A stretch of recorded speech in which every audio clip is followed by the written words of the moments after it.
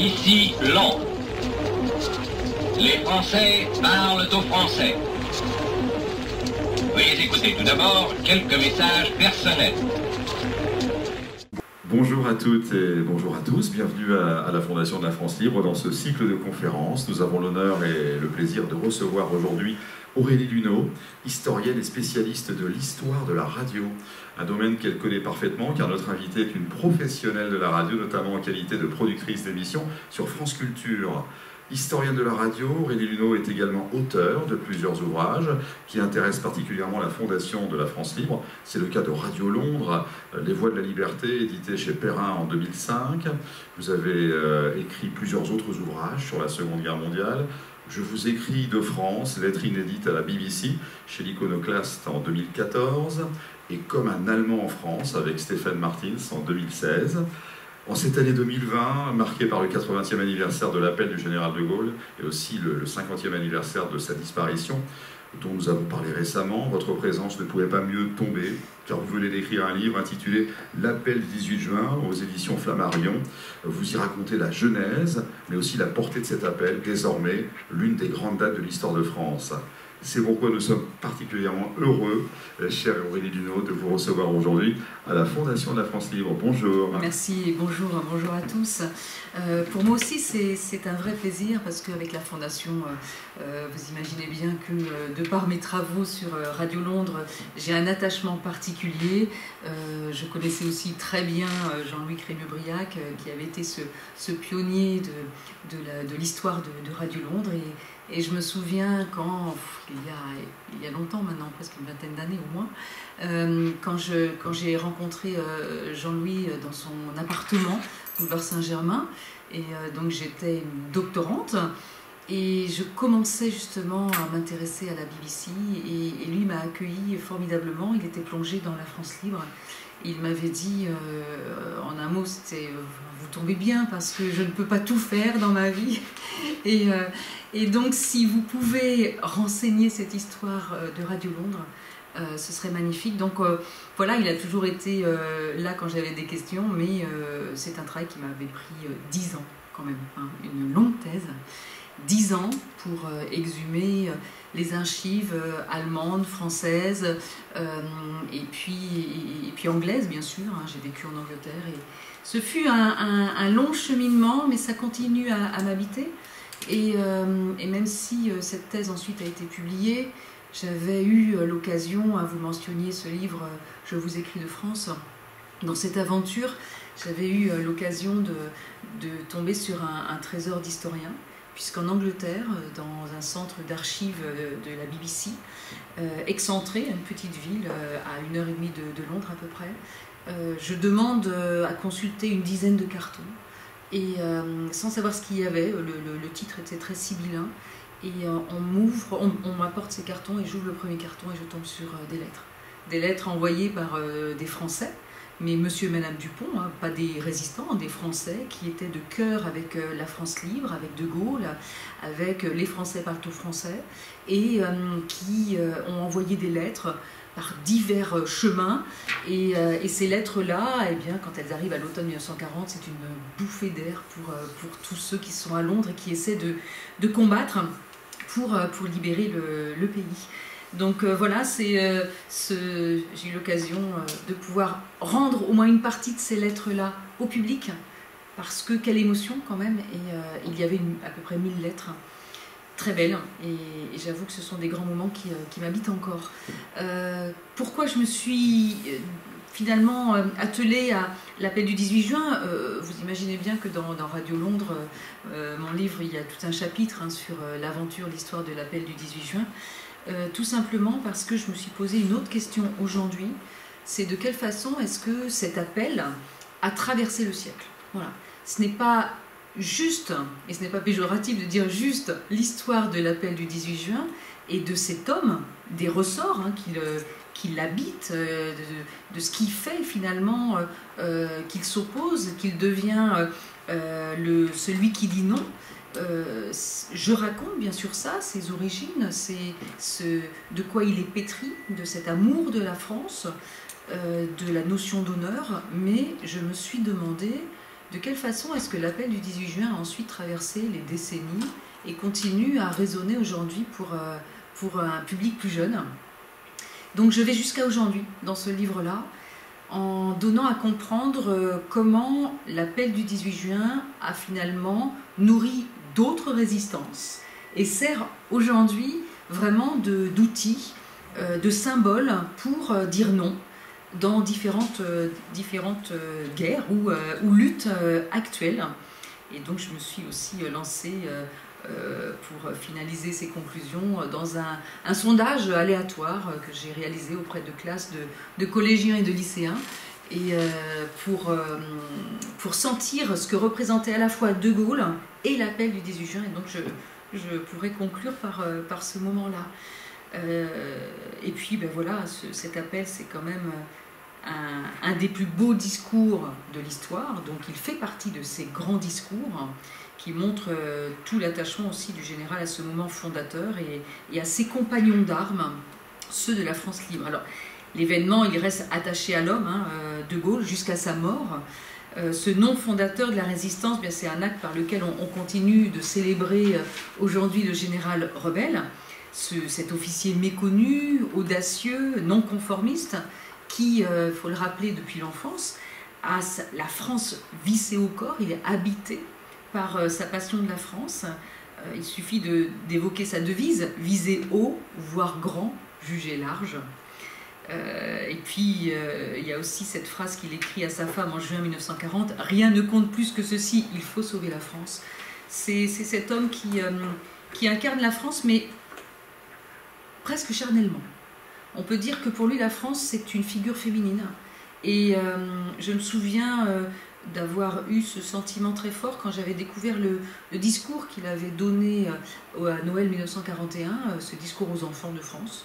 Il s'adresse aux enfants au moment de Noël et, et il raconte un conte. C'est ce conte où la France est la bonne fée et puis l'Allemagne est la sorcière. Et, c'est assez euh, truculent de lire quand même sous la plume du général de Gaulle euh, ben, le conte euh, livré pour un enfant. C'était un homme de plume, j'aurai l'occasion d'en parler. Il aimait la littérature et là il se lance dans cet exercice. C'est un très très beau discours qui dit beaucoup du fait de, de sa souvent l'incarnation qu'il donne sous la figure d'une femme, d'une grande dame. Voilà, la France est une, est grande dame. ce texte aussi, l'appel du 18 juin, c'est un, ce sont des mots, euh, c'est un rythme, c'est un style. Euh, c'est les débuts de, cet homme politique avec la France libre, et puis ben, c'est la geste gaulienne hein, qui naît de, l'appel du 18 juin. Donc on peut dire que le 18 juin, c'est l'avènement de De Gaulle dans l'histoire, mais c'est aussi euh, l'acte d'un fou, en fait, d'un visionnaire stratège, un héros isolé. C'est l'acte politique, l'acte de naissance de la France libre, mais cet homme-là, euh, dit non tout seul ou quasiment tout seul à cette époque. Enfin, il dit non officiellement devant un micro de la BBC, là où d'autres portent ce nom en, eux euh, et, font tout pour essayer de, de, s'opposer. Et donc on peut dire que euh, le général, par l'appel du 18 juin, va coaliser toutes ces énergies et tous ceux qui, comme lui, refusaient cette défaite. Donc c'est le général Micro c'est euh, ce général micro euh, qui a été euh, baptisé de cette façon-là par la propagande allemande. Et c'est une voix d'abord sans visage, parce qu'il faut bien, bien préciser, alors je dis une voix sans visage parce que les Allemands le représentent avec à la place du visage un micro. Voilà, il y a la fameuse affiche, le général micro, parce que bien très peu euh, en fait ont gardé en, mémoire le, souvenir de cet homme hein, qui a eu un passage éclair quand même dans, le gouvernement français avant de, euh, partir euh, poursuivre la lutte en Angleterre. Est-ce qu'il a été écouté? C'est toujours la question hein, qu'on se pose. Est-ce que l'appel du 18 juin a vraiment été écouté par des Français? Moi, je ne peut pas aujourd'hui, je pense que personne ne prétendra donner des chiffres, c'est impossible. Euh, dire qu'il n'a pas écouté serait une erreur. Serait une erreur. Euh, qu'il n'a pas été écouté, c'est pas possible. On a des témoignages retrouvés, écrits dans l'instant ou le lendemain, en précisant la date. On peut effectivement dire que oui, euh, des Français ont entendu l'appel du 18 juin. Certains ont entendu l'appel qui a été redonné pendant 24 heures sur les antennes de la BBC. et puis d'autres ont pu entendre certains des appels suivants dans, ce mois de juin. Euh, il ne faut pas oublier que 8 millions de Français étaient quand même lancés sur les routes de l'Exode. Et je rappelle qu'à l'époque, il y avait 6,5 millions de postes de radio. Mais euh, Maurice Schumann en parle, euh, Daniel Cordier en parle, enfin en tout cas parle de, la façon dont ils ont pu, soit par la presse aussi, soit par le bouche à oreille, les uns et les autres, avoir connaissance de cet appel du, général, méconnu, inconnu, et qui disait non. Cet homme qui entendait être la France, se sentait légitime dans l'illégalité. Et, euh, et c'est une aventure en fait, c'est un, c'est une aventure digne d'un film de fiction, on pourrait dire. Hein. C'est un héros légendaire, c'est quand même cet homme euh, qui va être sanctionné, euh, donc dénoncé en France comme un rebelle, comme un aventurier. Le 22 juin, annulation de sa nomination en tant que général à titre temporaire. Le 23, il est admis à la retraite d'office. Le 4 juillet, il est condamné quand même à 4 ans de prison et 100 francs d'amende, euh, tribunal militaire de Toulouse. Alors la peine semble pour certains euh, trop peu euh, importante, donc elle est alourdie par le tribunal de Clermont-Ferrand le 2 août. et là, il est condamné pour trahison, désertion, dégradation militaire, confiscation de ses biens et, et, peine capitale.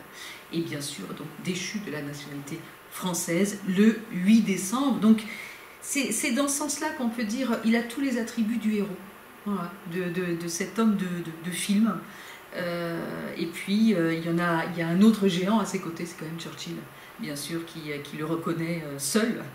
Et donc qui officialise euh, sa place. Alors, je ne vais pas revenir sur les difficultés avec le cabinet britannique euh, qui n'accepte pas euh, jusqu'au 18 juin dans l'après-midi de laisser la parole à un général Félon quand même. C'est celui qui, a coupé, les amarres et qui, qui a décidé de, de, se battre seul, mais qui s'oppose au gouvernement français. Et puis ce gouvernement, eh bien, les Anglais espèrent bien quand même trouver un accord et faire en sorte que la flotte française ne tombe pas aux mains des Anglais. Donc il y a beaucoup d'enjeux. Euh, cet homme euh, a dû se battre euh, de façon quasi permanente, je pense qu'on peut le dire, y compris dans le camp allié, puisqu'il n'hésite pas, portant haut la France, à défendre la position de la France libre. Et, souvent, face à des alliés qui, eux, entendent faire autrement, donc la figure du légendaire, c'est cet homme qui, qui dit non aussi à ses alliés pour le bien du pays. Et alors, il restera finalement cet homme du 18 juin jusque dans la mort. Moi, j'ai choisi de démarrer mon livre euh, par ses obsèques, par la mort et par ses obsèques, parce que on enterre euh, le 12 novembre 1970 euh, non pas le président de la République, mais le général de Gaulle, cet homme du 18 juin, le résistant, même si lui, en fait, ne voulait pas dans ces dernières années être réduit comme il le disait, à, l'acte fondateur, à l'homme du 18 juin, il aurait aimé qu'on le considère dans, l'ampleur de ce qu'il avait réalisé pour la France et aussi en tant que, président. Mais finalement, jusqu'au bout, on se rend compte, quand on lit la presse de l'époque, euh, le titre du New York Times euh, salue le dernier des géants, quand on lit les, registres des euh, laissés, les lettres envoyées à, Yvonne de Gaulle, euh, les témoignages dans, les cahiers de, condoléances, on se rend compte que euh, ce qui transpire, ce qui transparaît le plus, c'est vraiment euh, l'hommage rendu à celui qui a dit non, à l'homme du 18 juin et aux résistants. Donc malgré son envie d'être autre chose que cet homme-là, il le restera jusqu'à la mort. Euh, je ne sais pas si vous avez eu l'occasion de, regarder les uns les autres, je pense qu'on les trouve sur, euh, Internet, les, photos, les films de la, foule massée, que ce soit à Colombelle et deux églises, mais que ce soit aussi euh, sur les Champs-Élysées, la cérémonie à Notre-Dame de Paris, où là il y avait 86 chefs d'État et de gouvernement, ils rassemblent dans la mort. vous savez, cette, cérémonie, elle a été quand même retransmise en Mondovision 300 millions de téléspectateurs de 25 pays. Donc ce sont des événements qui, euh, aujourd'hui, euh, euh, je ne sais pas si on, peut imaginer un tel dispositif, même s'il y a encore plus de médias, donc probablement ça, ça, draine des millions de téléspectateurs, mais quand même ce genre d'hommage était exceptionnel. Il faut rappeler aussi que je m'attache à, à ce qui animait cet homme de bout en bout, c'est-à-dire c'est un homme qui a considéré cet appel du 18 juin non pas comme un fer de lance pour sa propre euh, notoriété ou médiatisation, puisque euh, on remarque au fil des, décennies ou des anniversaires symboliques de l'appel qu'il a toujours fait en sorte que cet appel reste un, moment d'intimité, de, sobriété, là où d'autres d'ailleurs régulièrement proposaient de faire du 18 juin un jour férié. Donc le, général de Gaulle s'est opposé toujours à cette idée-là. Il ne voulait pas que le, 18 juin se transforme en un 14 juillet bis. Pour lui, le 14 juillet était là et remplissait son rôle, fête nationale.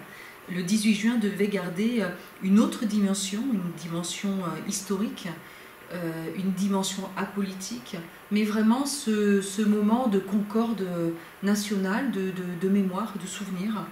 Et, c'est vrai que pour lui, c'était ce, moment partagé avec ses compagnons, au Mont Valérien, la sobriété de, des gerbes déposées, de, la, cérémonie euh, euh, sous l'arc de triomphe. Mais à aucun moment il n'a eu pour ambition de transformer cet anniversaire-là en, moment à son avantage politique, même si on voit que quand il revient au pouvoir en 58, il y a milliers et des milliers de personnes massées qui, l'acclament et, lui avec ce, symbolique V euh, de, ses bras levés comme il savait, comme il savait le faire. Euh, homme de caractère, bien sûr, homme, homme de valeur qui fonde aussi là le légendaire. Euh, c'est quand même cet homme qui, à l'âge de 15 ans, se voyait à la tête d'une armée de 200 000 soldats, fort de 618 canons, euh, luttant contre, contre les Allemands. Euh, euh, tout jeune, il, incarne quand même cette volonté aussi de, de redonner sa place à, la France, lui qui était né issu d'une famille qui avait été marquée par la défaite de Sedan. Et, donc cette famille de parents conservateurs, catholiques, Dreyfusards, mais, mais qui, qui portait haut l'amour de la patrie et, c'est cet homme qui euh, sera aussi doué très tôt d'un sens visionnaire, puisque euh, à l'âge de 18 ans, quand il revient d'un séjour en Allemagne, il aura cette, euh, phrase, il, écrit Il y a quelque chose de changé en Europe depuis trois ans, et en le constatant, je pense au malaise qui précède les grandes guerres. nous sommes en 1908, il a 18 ans, et il, pressent déjà, de par son, voyage en Allemagne, ces transformations on, sait qu'il sera visionnaire aussi sur le terrain militaire. Toujours intéressant, visionnaire non seulement par rapport à, aux, blindés, par rapport à, cette, euh, euh, cette, armée qu'il faut euh, moderniser, mais aussi par rapport à l'usage de la radio, parce que très tôt quand même, c'est cet homme en, 1934, euh, dans son, dans son livre euh, Vers l'armée de métier, non, dans son livre euh, Au, fil de l'épée, je, vais, je, vais, retrouver la référence, mais en tout cas, l'un des deux, je sais que il, il l'évoque, plus qu'il évoque, en fait, il renseigne l'usage, l'utilisation de la radiophonie entre les, les, les, les corps d'armée, et de quelle façon est-ce que cette radiophonie doit être utilisée pour coordonner justement les, assauts euh, et, euh, la stratégie militaire euh, sur le terrain. Est-ce qu'il faut parler de son caractère de cochon, j'avais envie de dire, mais euh, c'est ce caractère en tout cas qui le qualifie, puisque le colonel Reynaud, euh, alors que lui est élève à Saint-Cyr et déjà euh, traité de connétable, avait noté, c'était un de ses instructeurs, il avait noté que De Gaulle gâtait malheureusement d'incontestables qualités par son assurance excessive, sa rigueur pour les opinions des autres, et puis son attitude de roi en exil. Donc, mais c'est son caractère qui fait aussi euh, cet homme qui a la force de dire non et de s'opposer, c'est l'homme du 18 juin et certainement pas pour rien, avec tout ce, tout ce qui l'anime, puisque lui-même, dans ses carnets, il a, il a laissé tellement de phrases, il a laissé tellement de, propos, moi j'en ai relevé certains, mais euh, quand on le lit, on se dit que nombre de ces phrases sont utilisables aujourd'hui. Et, c'est ce qui m'a interpellée et, et, intéressée dans, dans ce livre-là, c'est de voir de quelle façon est-ce que aujourd'hui l'homme, l'appel du 18 juin, son acte de rébellion, servait dans d'autres causes, dans d'autres luttes. Voilà, quand il dit le vainqueur est celui qui veut le plus énergiquement, euh, ça, ça, ça parle à tout le monde. Euh, il n'aime pas la médiocrité, ça on le sait, il, ne veut pas déposer les armes, donc euh, c'est un homme qui va être meurtri par, son expérience de, la Grande Guerre. Il dira d'ailleurs que c'est un chagrin qu'il ne quittera jamais, que, que, ce chagrin se terminera avec sa vie. son, exigence, oui, fait de lui un, homme de caractère, caractériel on peut le dire, mais, euh, qui explique aussi euh, pourquoi il a réussi à surmonter autant d'obstacles devant lui, des obstacles, euh, comme je disais, à la fois du côté, ennemi, mais aussi, du côté allié. Homme de l'écrit, donc visionnaire, doué d'un sens de la communication, de la perception de l'usage des médias, il a une plume, c'est un, c'est un littéraire. Et euh, souvent, il est, il est méconnu par rapport à ça. Euh, c'est un homme pétri d'une culture littéraire, il aime lire, euh, il, aime, il aime la littérature, il aime les écrivains. Et, et c'est vrai qu'il a vraiment un style, c'est vrai. quand il écrit ses discours, il a tout compris de la façon de s'adresser aux Français. De s'adresser à, eux par des phrases courtes, par des, le martèlement des mots, mais aussi par l'usage des mots il a, c'est un homme des formules. Et euh, alors qu'à l'époque, il n'y avait pas de communicants, aujourd'hui, nos hommes politiques sont euh, souvent encadrés et peut-être qu'on leur souffle certains euh, mots ou jeux de mots. de Gaulle n'avait pas besoin qu'on lui souffle ces mots-là, mais, mais il a eu besoin de s'emparer de, de, ces outils médiatiques euh, donc je vous parlais de, ses livres, hein. il, a, écrit quand même beaucoup de livres avant justement euh, vers l'armée de métier en 34, donc le fil de l'épée c'était en 32, mais bien avant, le premier euh, remonte à 1924, hein, la discorde chez l'ennemi. il, a, il a écrit beaucoup sur, sur l'armée, sur leurs soldats, sur, sur la place que les uns et les autres devaient occuper. Et puis c'est ce grand stratège, bien sûr, théoricien du mouvement de la motorisation. Je ne sais pas, on ne l'évoque pas toujours, mais c'est quand même un homme qui a lu euh, Guderian et que Guderian va citer De Gaulle dans, son livre paru en 1936, Artung Panzer. Donc Guderian, avant même euh, euh, des stratèges ou des, des militaires, l'encadrement et l'état-major français aura compris euh, les idées de De Gaulle avant le propre état-major de De Gaulle. donc ce n'est pas bénin de rappeler quand même cette force du penseur, du théoricien et du stratège du mouvement et de la motorisation, le colonel motor, là encore un surnom pour l'homme. Je pense qu'on peut faire tout un tableau de ces surnoms, mais, qui disent euh, tellement de lui. Et puis euh, ce visionnaire, voilà, là j'ai une phrase sous les yeux, quand le 1er octobre 38, il écrit à sa femme Nous prenons l'habitude du recul et de l'humiliation, nous boirons le calice jusqu'à la lie. Nous sommes en octobre 38 il sait que les choses sont déjà perdues. Si on n'entend pas ses, appels, si on n'écoute pas euh, ses, pensées et, sa, théorie, euh, son mémorandum, l'avènement de la force mécanique qui n'a pas été non plus euh, relayé, en tout cas appliqué donc héros, héros des, des, champs de bataille. Voilà, je me suis aussi intéressée bien sûr à, cet homme-là. Hein. on pourrait dire, je pense que leur, tourne, vous, vous m'arrêterez à un moment peut-être, mais euh, c'est cet homme qui est euh, isolé quand même, hein, mais fort de conviction, euh, passionné, et puis, et puis qui, qui du coup est aussi un, un héros du terrain, puisqu'il remporte des, combats. Euh, sur le terrain, euh, donc avec sa quatrième division euh, cuirassée, donc à Montcornet, du côté de, Abbeville dans la Somme. Et, et, cet homme de radio, ce qu'on ne connaît pas forcément, c'est qu'avant l'appel du 18 juin, il avait été un homme de radio. Et que son appel du 18 juin, il y a, il y a un précédent, le 21 mai, à Savigny-sur-Ardre, c'est entre Reims et Soissons. Il a une sa première expérience radio, il la vit là. Euh, un, homme, un opérateur, euh, enfin c'est un officier quand même des services de propagande hein, du grand quartier général, qui s'appelle le capitaine Alex Surchamp. Donc cet homme-là, homme de radio, vient avec un camion, un appareil enregistreur sur disque, et pour l'émission Le quart d'heure du soldat, qui était une émission quotidienne, qui était diffusée à 18h depuis les studios des PTT. C'était comme ça qu'on appelait la, la, radiodiffusion à l'époque, donc euh, rue de Grenelle à Paris.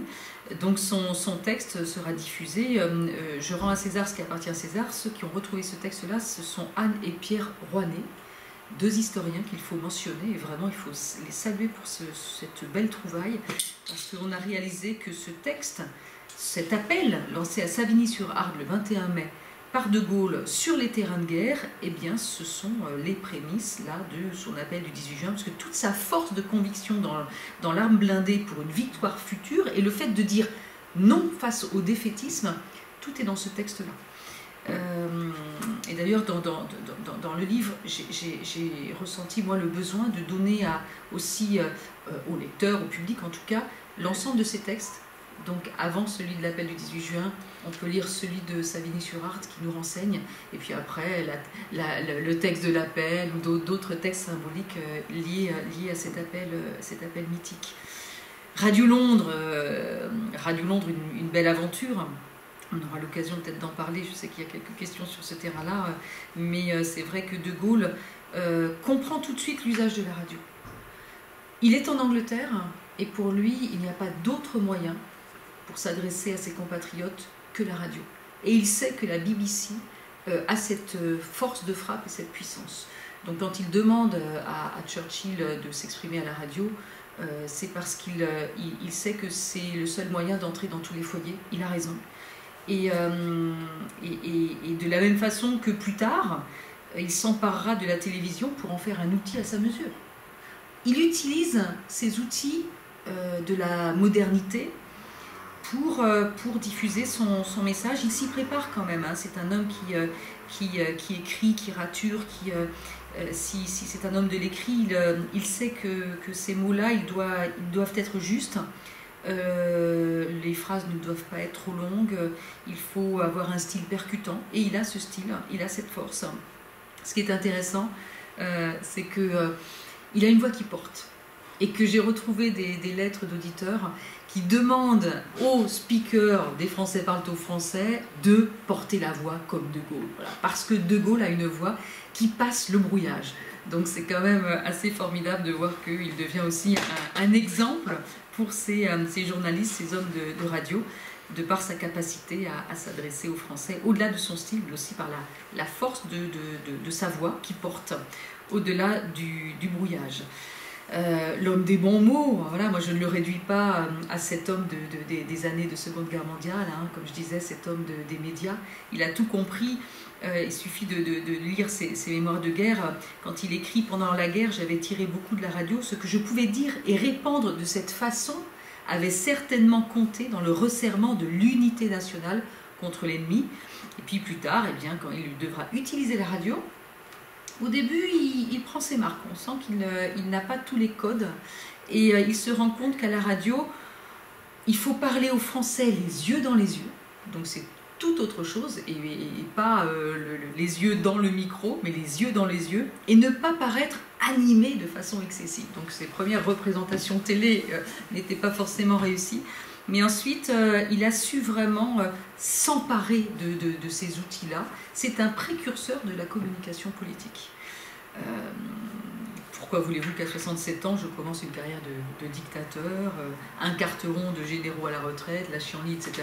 Bon, là aussi, je pense qu'il y a un florilège de ces bons mots qui, ravissent encore aujourd'hui les, auditeurs, les téléspectateurs, et c'est souvent réactivé dans les, dans les fonds de l'INA. Alors, je, passe, je pense, sur euh, l'aventure. Hein, les Français parlent au français. Euh, donc, la BBC, il faut quand même, euh, expliquer que pour, les Français, la BBC c'est De Gaulle. Mais en fait, la BBC c'est pas De Gaulle. La BBC c'est De Gaulle de 20h25 à 20h30, c'est-à-dire quand il y a les 5 minutes dédiées à la France libre, avec Maurice Schumann à la tête de, de, cette émission, en porte-parole du, du général De Gaulle, et le général De Gaulle qui, occasionnellement, vient prendre la parole et il prend la parole 67 fois à l'antenne durant cette période de guerre.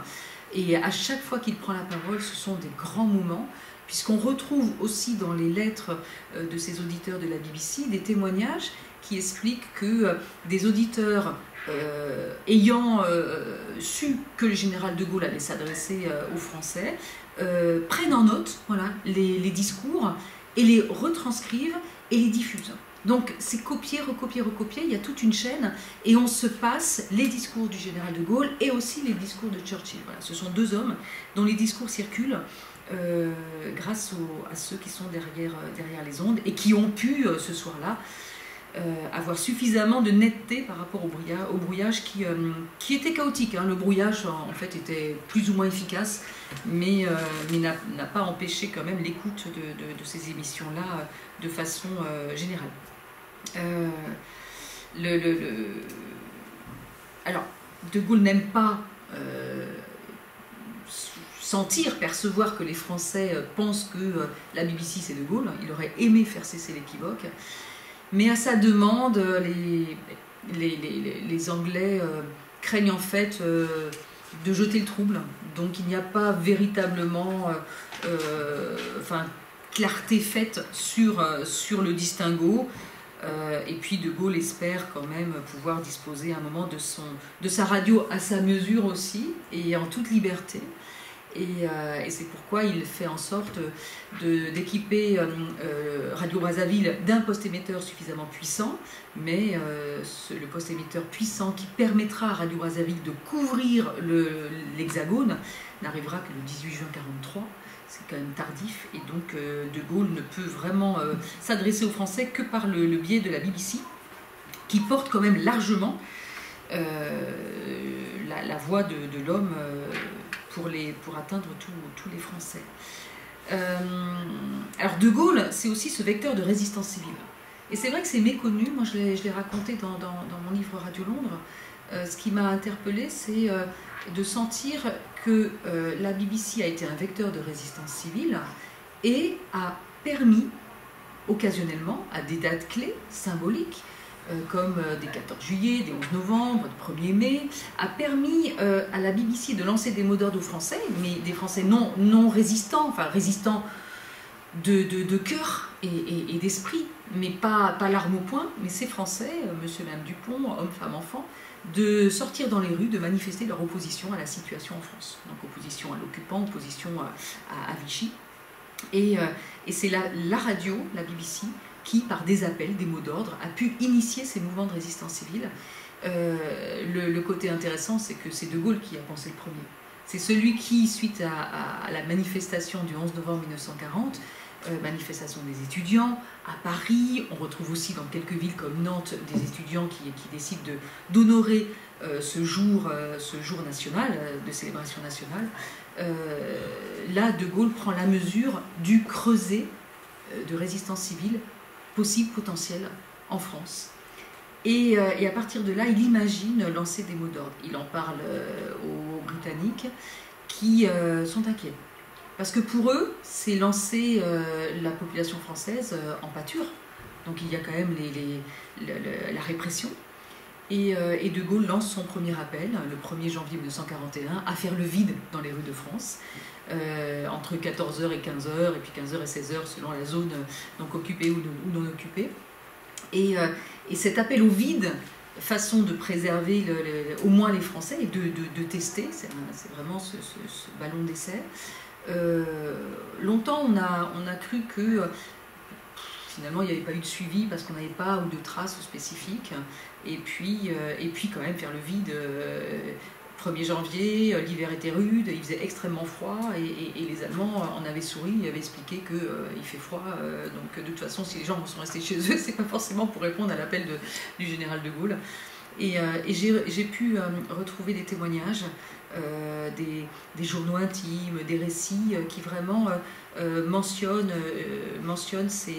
ce vide volontaire, c'est-à-dire vraiment le, souci de rester chez soi de telle heure à telle heure en respect euh, euh, de, l'appel lancé. Et puis ensuite, mais voilà, il y a la campagne d'EV et puis les manifestations, et qui permettent quand même aujourd'hui de montrer que euh, ces manifestations ont généré des milliers, voire des dizaines de milliers de personnes dans les rues. Et l'année la plus symbolique, c'est l'année de 1942, avec des 14 juillet et des 11 novembre, en atteignant parfois 100, 150 000 personnes dans les rues villes, que ce soit Paris, ou, Marseille, Toulouse ou, d'autres, villes, Lyon, Bordeaux. tout a été, j'ai, longuement étudié pendant mes, dix années de, de, thèse consacrée à Radio Londres. j'ai décortiqué tous les rapports possibles rapport de, de préfet, rapport de gendarmerie, rapport de police, rapport des Britanniques, rapport des Allemands, pour essayer de recouper, de croiser les données. Et euh, c'est comme aujourd'hui, vous savez, quand il y a une manifestation, vous avez euh, les données côté, euh, police et les données côté manifestant. Mais là, j'étais un petit peu face à la même problématique. Et, j'ai pu en tirer, en tout cas, des, informations très, très intéressantes. Mais tout cela, voilà, c'est cette genèse, c'est l'appel du 18 juin, c'est la France libre, c'est aussi, c'est l'appel et et, ces mouvements-là, en, cascade, est-ce que ça a pu générer avec cet homme, ce légendaire, comment euh, est-ce que euh, euh, tout cela a pu générer aussi des mouvements de résistance civile dont on parle très peu finalement et, qui, rentrent dans l'histoire et pour lesquels on a de très très beaux témoignages. Alors, le, général a aussi écrit sa légende. Hein, il disait qu'il n'était pas censuré, qu'il n'a pas subi la censure de sécurité militaire ce n'est pas vrai. et, euh, il ne faut pas oublier que bon, voilà, le général a aussi un peu, un peu participé à la légende, mais euh, quand il dit euh, nous, nous, entendions ne parler que pour notre compte, pour moi-même, il va de soi que je n'admis jamais aucune supervision, ni même aucun avis étranger sur ce que j'avais à dire à la France. ces textes étaient soumis à une censure parce que, comme tous les textes de tous ceux qui passaient à l'antenne, voilà. parce qu'il fallait s'assurer qu'il n'y avait pas de propos de, euh, ou d'informations, et, donc le général euh, devait se soumettre. D'où, euh, sa volonté ferme d'avoir une, radio à sa mesure avec Radio Brazzaville. alors, de la même façon, on peut relever hein, quand quand il tord un petit peu euh, euh, le, bras euh, à, la vérité historique, mais on sent qu'il y a aussi une volonté chez lui hein, de chercher la concorde, de chercher l'unité nationale. C'est par exemple lors du discours à l'hôtel de ville le 25 août 1944, quand il, il parle de, de, cette France libérée par son peuple, enfin la ville, Paris, libérée par son peuple, par elle-même, avec le concours des armées, etc. Donc la vraie France, la France éternelle. Euh, c'est le mythe de la France entière résistante et, qui se libère. Donc c'est ce mythe fondateur du résistentialisme et, euh, qui est posé. Et, on sait qu'il en avait besoin. Donc, euh, voilà, c'est aussi pour les besoins de la cause, pour faire en sorte que ce pays soit soudé, apaiser les esprits. Il pense déjà à la reconstruction. C'est toujours cet homme visionnaire. Dans n'importe quelle situation, on sent le De Gaulle visionnaire euh, qui, euh, qui, qui, anticipe les, conséquences. Après, dans ce discours, on en parle moins, mais quand on le lit de bout en bout, on se rend compte qu'il appelle quand même aussi à, la revanche, puisqu'il annonce que les forces françaises vont chasser l'ennemi et entrer sur son territoire en vainqueur. Et il parle aussi de vengeance et de justice pour obtenir la victoire totale et, complète. Donc c'est intéressant de voir ce qu'on retient finalement, ces phrases un peu symboliques, et puis celles qu'on oublie mais euh, il sait qu'il euh, faut euh, battre l'ennemi jusque sur son terrain et pour ça il a besoin de cette unité nationale. Dans cette aventure, moi je me suis bien sûr intéressée, à, comme je vous disais, à, à, la suite, c'est-à-dire en quoi l'appel du 18 juin a pu traverser les décennies, ce qu'il a, qu'il a, représenté, l'attachement aussi des Français à ce jour euh, qui, comme je le disais pour De Gaulle, devait rester euh, sobre, intime. Euh, il est amémoriel, hein, porteur de valeurs patriotiques. Voilà. Ce sont toujours des moments aussi où il, fait en sorte de passer au fameux club du 18 juin. être entouré de ses, de ses camarades, de ses Français libres, les sentir tous aussi au Mont Valérien. Pour lui, c'est dans ce sens-là qu'il entendait les, choses de la même façon que il avait orchestré son, euh, son enterrement, en fait, hein, quand il avait euh, demandé de la sobriété, de l'intimité, euh, pas de fanfare, pas de musique, pas d'officiel, que son cercueil soit porté par des jeunes de Colombe et les deux églises. Donc on sent, on sent que, qu'il a souci aussi de préserver ce qui appartient à l'homme intime, personnel, le privé, et, et, ce qui peut effectivement se mettre en place, hein, comme cette grande cérémonie ou à Notre-Dame, mais sur un autre terrain, il, a toujours préservé ce, côté quand même familial, hein, amical, familial, les compagnons et, les, et les, Français libres. Qu'est-ce que je pourrais ajouter Beaucoup, bien sûr, mais j'essaie de faire le tri un petit peu et en même temps, voilà, ce, qu'on commet comme, travaux, comme recherche servent aussi à, vous donner ces, aventures à vivre euh, dans, le texte. Euh, il a tiré de, tout, tout, au long de sa, de, sa vie, c'est vrai que De Gaulle a, a tiré sa légitimité certainement de, son appel. Après, on n'oublie pas, et je le raconte, hein, qu'il a capitalisé aussi euh, les passions et les haines. Alors les passions, bien sûr, et puis les haines, hein, symbole de fermeté, d'autorité, on a parlé, mais aussi euh, alors dénoncé pour euh, un, soi-disant donc exercice quasi monarchique des institutions, traité de dictateur, homme des fractures. On pense à la guerre d'Algérie, le printemps 68. Ce qui est intéressant, c'est que quand on navigue avec l'appel du 18 juin, on se rend compte qu'il a été récupéré par ces jeunes-là aussi et que le 18 juin 1968, par exemple, euh, ce texte bénéficie, euh, euh, on le sait, d'une force symbolique, d'une adhésion mémorielle, eh bien il ressurgit. Et les jeunes, ce mouvement ceux du mouvement du 22 mars, hein, ce mouvement lancé à Nanterre, avec à sa tête Daniel Cohn-Bendit, eh bien ce mouvement s'empare de l'appel du 18 juin et puis détourne l'affiche mythique l'affiche du 3 août 1940, et les étudiants vont euh, pondre leurs textes voilà, avec leurs revendications, avec leurs luttes, et, euh, dénoncer la capitulation des mandarins du syndicalisme et de la politique, appeler à l'union des Français hein, pour rentrer à leur côté dans leur, dans leur demande d'un changement de société. Et ils font en fait de ce texte une arme de dérision massive. Et c'est quand même extraordinaire. Donc c'est un acte, publicitaire, c'est une sorte de pied de nez pour eux euh, fait au général de Gaulle, mais en même temps, c'est aussi un hommage, puisque involontairement, il montre la force symbolique de cet appel. Donc euh, voilà, je raconte, je raconte de quelle façon est-ce que ce, cet appel du 18 juin est récupéré par les jeunes et le mouvement de mai 68. Euh, de la même façon que euh, je raconte de quelle façon, euh, dans les années 70, le mouvement de dépénalisation du cannabis s'empare de l'appel. Alors là, plus, c'est pas tant le, texte, hein, il ne s'amuse pas à, écrire un texte avec le, même phrasé, le, rythme, la force des mots, mais c'est l'appel du 18 juin, hein, et c'est le symbole de ce titre qui, leur permet d'avancer euh, sur, euh, sur leurs demandes.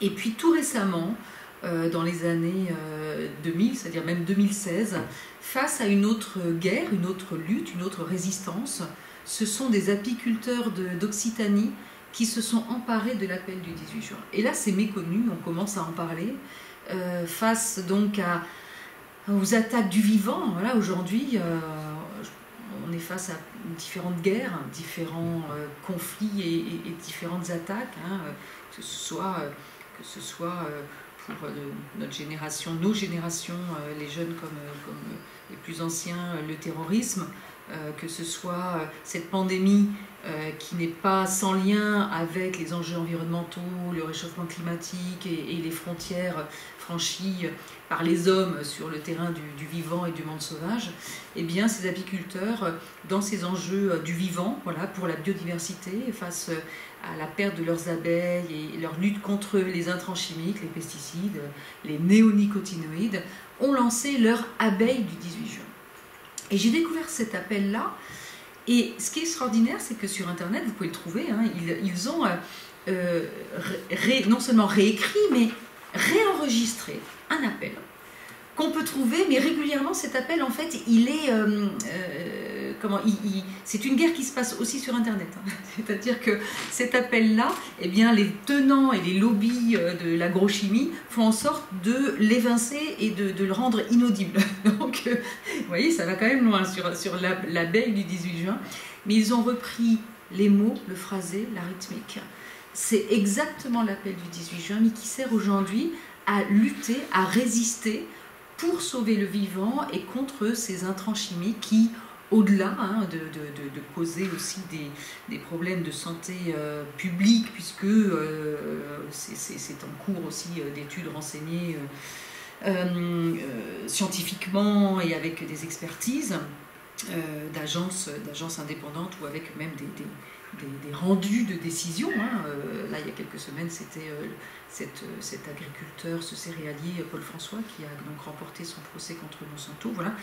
On est dans la récupération de l'appel du 18 juin pour, pour des causes aujourd'hui qu'on n'imagine pas. Mais ça dit beaucoup, beaucoup pour moi, je trouve, de la force, de la puissance, au-delà du symbole de cet appel. C'est qu'il a la, capacité de, de donner un outil pour d'autres causes. Et euh, est-ce que le général de Gaulle aurait apprécié cette récupération? On peut se poser la question. Il faut quand même dire que le général de Gaulle aimait aussi euh, la nature, l'environnement. Euh, qu'il appréciait notamment un homme qui a été panthéonisé tout récemment, Maurice Genevoix, et que il, dans les derniers moments, quand il quitte le pouvoir, euh, et, on sait que ça a été vraiment euh, un moment euh, terrible pour lui. Hein, quand le 28, 28, avril 69, il démissionne, il part. Et, d'ailleurs, Yvonne de Gaulle dira que son mari était mort certainement de, du chagrin et de la douleur due aux hommes, faisant référence à, son départ. Eh bien, dans une lettre qu'il écrit à, Maurice Genevoix, il explique que le livre qu'il lit de Maurice Genevoix, qui s'appelle Les Bestiaires, hein, c'est le dernier volume, euh, lui fait du bien face justement à la douleur euh, qui lui vient des hommes. Et, donc peut-être qu'on euh, peut penser que cette abeille du 18 juin aurait, aurait pu plaire au général de Gaulle, qui, même s'il avait un fort caractère, avait aussi de l'humour, faut quand même pas, pas l'oublier. Et donc voilà, ce sont des réflexions qu'on peut avoir, je n'en tire pas de conclusion hâtive, hein, loin de là. Euh, que reste-t-il de lui aujourd'hui? Euh, Ce sont des questions qui se posent souvent et j'imagine que, vous les avez euh, posées au cours des différentes interventions de, tous ceux qui prennent la parole devant vous. bien sûr, ses mémoires, lettres, notes et carnets, messages et discours, les archives, Colombet, la, Croix de Lorraine, d'ailleurs cette, grande croix hein, qui, a été érigée en, juin 72. Euh, euh, et, d'ailleurs, il faut rappeler que c'était grâce au fondateur de West France hein, qui avait lancé une, souscription. Voilà, Paul Hutin Degré. Et, euh, et, là, De Gaulle aussi, alors, est-ce que c'était un visionnaire ou est-ce qu'il avait lancé cette phrase, sachant qu'elle serait reprise et peut-être suivie lors d'une conversation à Colombay, avait apparemment dit Voyez cette colline, c'est la plus élevée, eh bien, on y édifiera une croix de Lorraine quand je serai mort et de partout, on pourra la voir. Donc le, fondateur de West France a, fait en sorte de réaliser ce, souhait euh, du, général de Gaulle. Et par rapport aux jeunes, je vous en parlais au tout début de, mon intervention, euh, les jeunes, c'est pas inintéressant de voir quand même aussi ce, que, ce que Maurice Schumann, j'ai retrouvé tellement de choses, mais dans la presse aussi de l'époque, en 1980, dans le Figaro, euh, anniversaire, donc c'était le 18 juin pour l'anniversaire de l'appel, il disait que cet appel et, cet acte était intemporel. Et, il, écrivait ceci célébrer le 18 juin comme un événement du passé serait trahir la lettre et l'esprit de l'appel à tous les jeunes cœurs, donc il s'adressait à, tous les jeunes. Hein. Il enseigne, comme dit encore Peggy, l'art difficile de se porter sur demain. Et c'est ce que j'ai ressenti avec les récupérations, euh, les réinterprétations, mais cette façon de convoquer l'appel dans des combats d'aujourd'hui, c'est exactement ce que disait Maurice Schumann en 1980. Maurice Schumann que j'avais eu le, bonheur de rencontrer plusieurs fois avant qu'il décède. Et, euh, donc cette figure du, général, qu'est-ce qu'elle dit encore aujourd'hui à la jeunesse? Eh bien, dans le, dans le sondage euh, aléatoire que j'ai pu réaliser, donc c'était au, printemps 2020 euh, et, je salue vraiment tous les jeunes, des collégiens, des lycéens qui se sont prêtés à cet exercice euh, dans des lycées et collèges euh, parisiens mais aussi de, de puisque je les ai sollicités, que tout cela a pu être remonté durant les premières semaines du confinement, du premier confinement. C'est la figure du président de la République qui l'emporte, c'est intéressant, sur le militaire résistant. Son nom est plutôt associé euh, à la 4e et à la 5e République, à la guerre d'Algérie, à mai 68, et puis ensuite aux deux guerres mondiales et à la résistance, Alors bien sûr, on parle du militaire, du héros. euh, les, termes qui ressortent, c'est militaire, héros, grand homme, sauveur, roi et empereur. Alors là, c'est plutôt au collège, parce qu'on se rend compte que ça se mêle aussi à l'enseignement euh, euh, de la Gaule ancienne. Voilà, donc de Gaulle, Gaule ancienne. Bon, on sent que pour les collégiens, tout n'est pas complètement, ce qui est normal, calé dans leur, tête par rapport aux chronologies. Et en ce qui concerne l'appel, les je ne sais pas sont légion. Donc c'est très intéressant parce que euh, même si certains vont quand même évoquer Londres, euh, la radio, les Anglais, l'appel à combattre, certains précis disent les Français parlent au français, euh, mais quand même on se rend compte que pour les jeunes, il faut redécouvrir l'appel du 18 juin. Voilà. De Gaulle, bien sûr, leur dit quelque chose de façon globalement précise, mais l'appel du 18 juin, les je ne sais pas étaient légion, donc ça m'a quand même interpellée. Et peut-être que euh, faudrait que je regarde précisément aussi les, programmes scolaires pour voir un petit peu euh, à quel moment est-ce que euh, est-ce qu'il y a est-ce qu'il y aurait pas disparition de l'appel du 18 juin, je n'y crois pas, c'est une balise de l'histoire. Mais, mais voilà, en tout cas, bon, aujourd'hui, l'appel est classé hein, au patrimoine de l'UNESCO, euh, des, euh, des 30, je crois qu'il y a 3600 communes qui ont un lieu baptisé du nom euh, de De Gaulle et puis, et puis des plaques en mémoire de l'appel.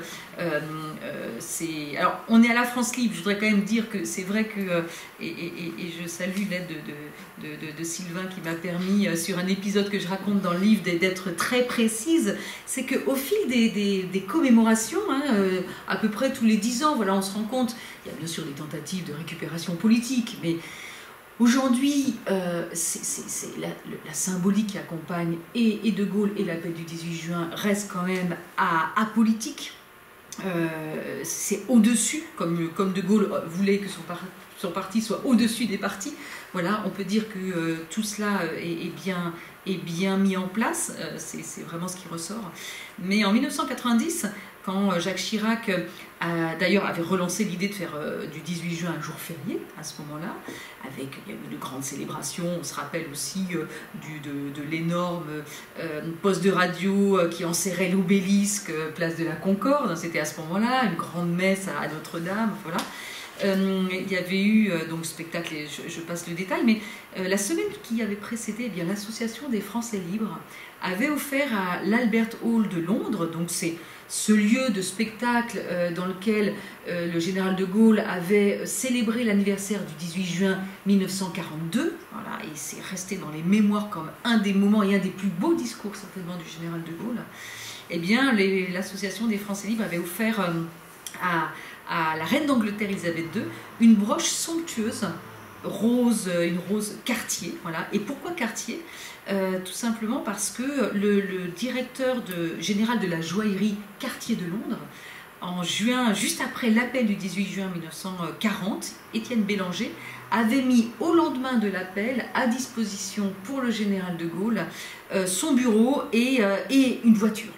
Donc de Gaulle s'était toujours souvenu de ce premier soutien et il avait fait d'ailleurs fabriquer les insignes, ces insignes pour la France libre et euh, donc euh, les décorations, par, euh, par, ce, mm, par quartier. Et, d'où donc le, symbole de cette rose qui avait été remise. Et puis la reine-mère, elle avait reçu un bloc de cristal, de roche, orné d'une croix de Lorraine qui représentait le livre de l'amitié, l'amitié franco-britannique, ouvert à la page du 18 juin 1900. 40. Euh, voilà, ce ne sont, ce sont pas juste des anecdotes, je pense que ce sont des, symboles forts. Et euh, il y, a un dernier quand même symbole qui m'a aussi interpellée, parce que euh, il y, a cette phrase, de, j'ai abusé des phrases, mais en même temps elles disent tellement, il y, a cette phrase du général de Gaulle, puisque tout recommence toujours, ce que j'ai fait sera tôt ou tard une source d'ardeur nouvelle après que j'aurai disparu. Moi, ce livre-là, je l'ai fini durant la première période de confinement. J'avais par chance, hein, c'est ce que je vous confiais avant, le- le- cette, euh, conférence avec vous tous, euh, j'avais par chance tout à, ma disposition, j'avais amassé toutes les archives, j'avais vraiment tout ce dont j'avais besoin pour aller au bout de cette aventure de, la traversée du 18, du 18 juin dans le siècle et arrive le discours d'Emmanuel Macron. On se souvient de son discours du 16 mars 2020, hein, dans lequel il répète six fois Nous sommes en guerre. Et bien deux jours après, dans le monde, il y a ce dessin de Plantu. Et Plantu de 18 mars 2020 dessine Emmanuel Macron derrière le micro qui est le micro symbolique du 18 juin, celui qu'on voit toujours, hein. donc dans la même posture que, que, celle du général. Et au lieu de mettre les Français parlent au français, Plantu écrit les confinés parlent aux confinés. Et là, je me suis dit, voilà un partage incroyable des codes culturels et historiques quand même qui sont encore attachés à, l'appel du 18 juin. Bon, c'est ce qui fait dire que c'est une figure consensuelle, forte d'une reconnaissance nationale et citoyenne. En tout cas, c'est le De Gaulle entré dans l'histoire avec cet appel du 18 juin et une histoire euh, sûrement en grand partage. Eh bien, merci beaucoup Aurélie Luneau pour euh, euh, cette, première présentation. Alors, il y a eu quelques questions qui ont été adressées à la Fondation de la France Libre. Je vais, je vais vous en eh bien, faire lecture maintenant une première question de, du général Michel euh, qui euh, vous pose eh bien, est-ce que la BBC émettait avec assez de puissance pour avoir pu être entendue jusqu'en Afrique équatoriale? Alors, euh, je n'ai pas renseigné toute la puissance de, la BBC à, l'échelle mondiale ou internationale, mais au tout, dans, dans ma thèse bien sûr, hein, euh, qui elle faisait 1000 pages, mais, euh, mais, mais, mais quand j'ai écrit Radio Londres, j'ai bien sûr réduit tout ça et de façon plus digeste pour un large public, mais euh, j'avais travaillé et je m'étais interrogée sur la puissance de la BBC. Il se trouve que dès les années 30, la radio de Londres, dès la montée, en fait dès 33, l'arrivée d'Hitler au pouvoir et la montée des, des, fascismes en Europe, on voit que la BBC fait en sorte d'avoir un maillage international très puissant et de couvrir toutes les zones géographiques à l'image de RFI. Euh, c'est exactement cette, cette image qu'on peut emprunter. Donc euh, oui, la BBC était suffisamment puissante pour couvrir toutes ces zones géographiques euh, sans, sans, conteste. Après, vous donner le détail de la puissance, là c'est vraiment dans les fonds des archives de, la BBC qu'il y aura moyen de, de, retrouver ça, ou, peut-être d'ailleurs des, des, des, cartes que, que, je produisais dans, dans ma thèse, mais, mais, mais je peux répondre oui à cette question. Alors, autre question euh, qui a été envoyée par euh, Mélanie Durda. Alors, une question, assez précise hein, sur des, des, chiffres. Euh, alors, c'est pas forcément évident. Elle, nous, elle vous demande j'aimerais savoir combien de fois le général de Gaulle a parlé. Je crois que vous l'avez dit. Alors, 67 fois, oui, parce qu'on en avait discuté notamment avec Jean-Luc Rimebriac. Lui, comme moi, pour différents travaux, on avait plongé dans les scripts de la BBC. C'est une chance, on détient les scripts écrits des textes de toutes les émissions. Et on, le doit grâce à Jean-Louis Crimebriac, qui avait, euh, lors d'un séjour à, la BBC, donc, euh, avait, euh, je crois qu'il était à la tête de la documentation française à l'époque, et donc c'était dans les années 50, et il avait pu voir dans des réserves, des caves, et il y avait un problème d'humidité et d'eau, des archives de la France libre de cette époque-là et des Français partout français qui reposaient et qui étaient en train de pourrir, et notamment les scripts. Il avait fait en sorte de sauver toutes ces archives et de les rapatrier. Et, euh, donc on a la chance d'avoir ces documents écrits, et en, comptabilisant, on était arrivé au chiffre de 67 fois. Voilà. Euh, alors peut-être que, moi je suis toujours méfiante, hein, le travail des historiens, c'est quand même un travail euh, d'humilité. Voilà. L'histoire, c'est pas blanc ou noir, il y a des zones d'ombre et, et, on peut dire qu'il y a les zones grises. Et que moi, j'espère bien sûr que d'autres historiens vont, euh, vont prendre la, relève et, d'autres prennent la relève.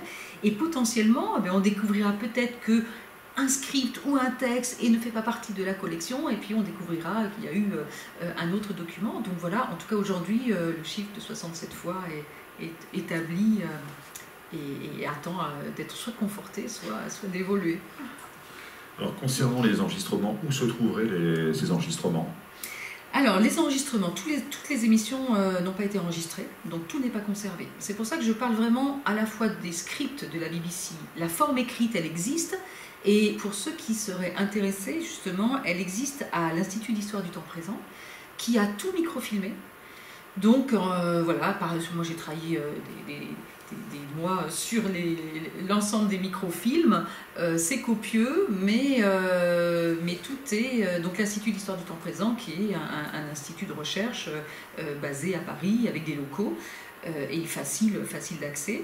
Et sinon, donc, pour tout ce qui est de l'ordre audiovisuel, euh, lors d'un des anniversaires euh, symboliques de la, de, la, libération de la France, si je ne m'abuse, euh, il y a eu des échanges d'archives entre les archives audiovisuelles anglaises et les archives audiovisuelles françaises. Et donc l'INA possède tout ce qui existe en sonore sur ces émissions, mais ce qu'il en reste, hein, les Français parlent au français et honneur et patrie. Mais parfois, je vois bien, j'ai des demandes de des personnes qui me disent Mais voilà, je recherche telle émission où, euh, où mon grand-père ou telle personne a parlé à tel moment. Euh, est-ce qu'on en a la trace audio? Alors, c'est extrêmement rare hein, quand même d'avoir, la trace audio parce que le fond n'est pas, pas énorme. Mais, euh, mais la trace écrite, normalement, c'est un travail de fourmi. Si vous avez la date et, ou au moins le mois ou une période, il y a peut-être possibilité de retrouver des choses pour ceux qui rechercheraient des interventions particulières. Alors, une autre question qui euh, est une question aussi euh, très très précise. Combien de personnes ont pris la parole à la BBC Si on peut le savoir, et, qui et quand la première et la dernière fois? Alors moi, je n'ai pas fait le décompte, parce que, euh, et, là, ça dépassait complètement mon, travail de thèse. Bon, ma thèse m'a quand même pris 10 ans.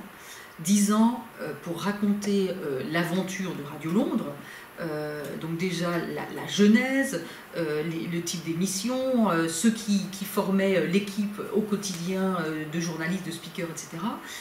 surtout, j'ai travaillé beaucoup sur, vous avez compris, ces mots d'ordre aussi lancés comment une radio comme la BBC devient vecteur de résistance civile.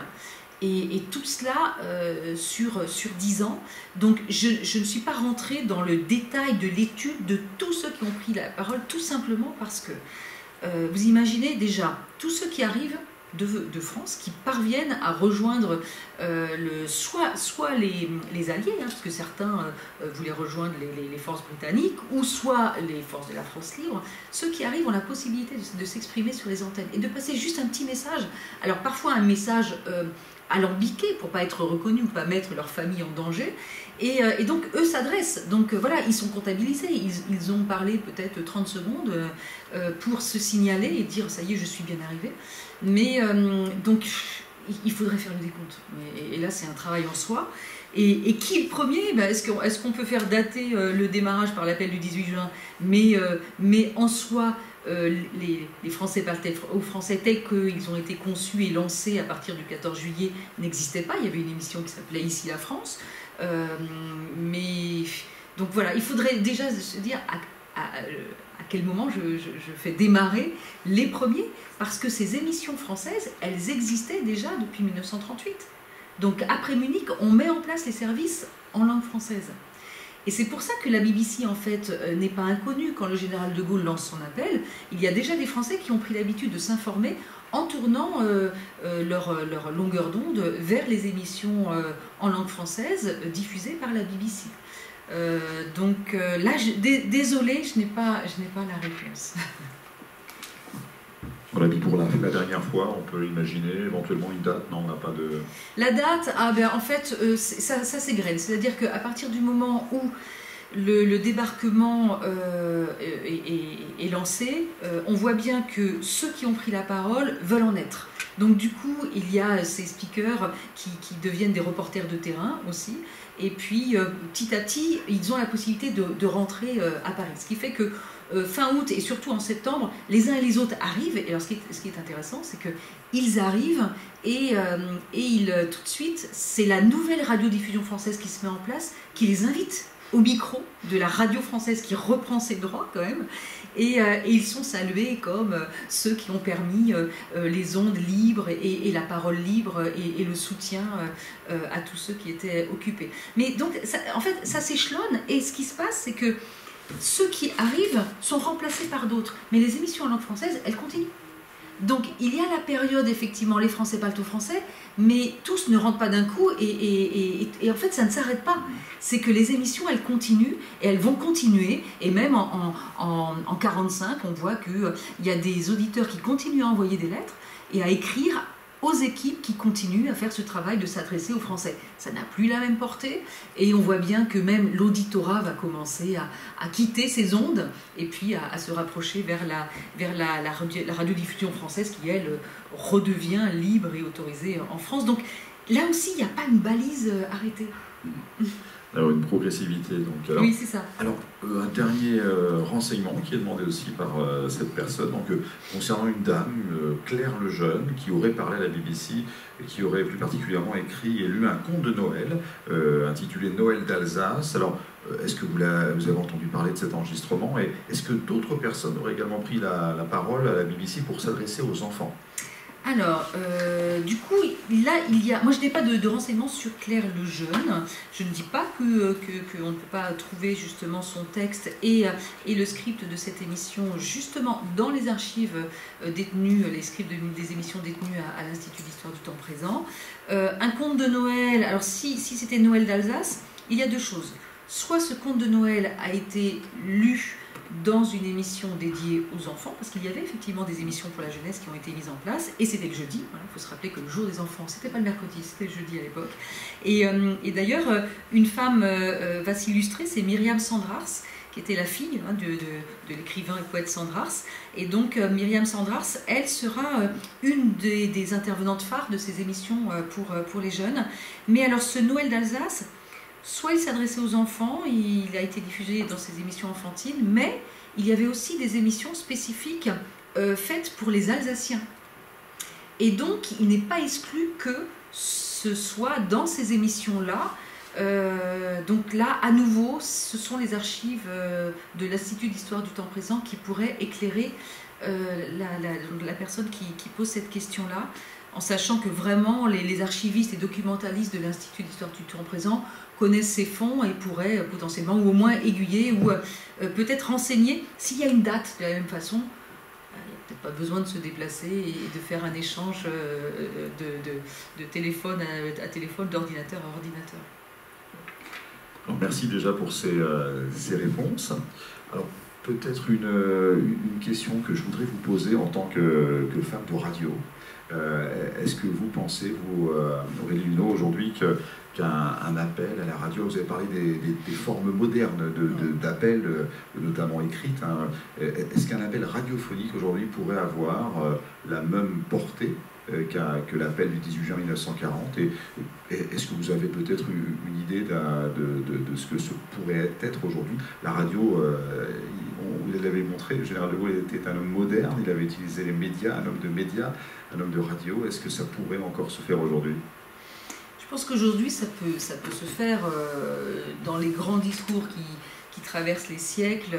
Euh, c'est vrai qu'on pense à Martin Luther King, on pense à, des grandes figures euh, comme cela. Churchill aussi a lancé de très, très beaux et grands discours. Euh, aujourd'hui, la jeunesse, elle s'adresse alors différemment. C'est-à-dire que si on part d'une figure iconique, hein, avec les enjeux d'aujourd'hui, comme cette jeunesse, cette jeunesse est celle qui euh, manifeste pour le climat, alors on pense soit à Greta Thunberg, qui, défraye la chronique, hein, parce qu'elle dérange, mais euh, c'est vrai que son premier discours fait figure, dit-on aujourd'hui, de, de grands discours.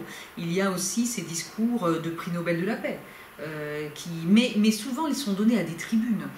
la radio, L'abbé Pierre avait utilisé la radio en son temps, bien sûr, pour lancer son fameux appel.